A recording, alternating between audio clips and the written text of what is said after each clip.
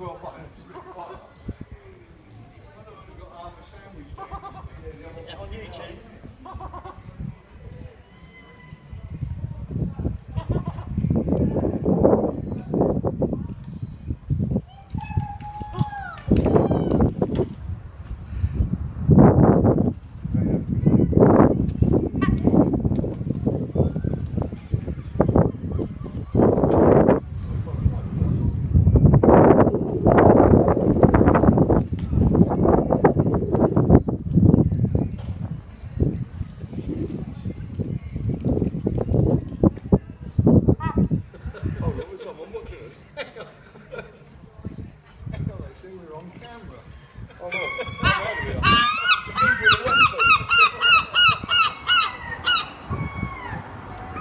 Please finish your flip.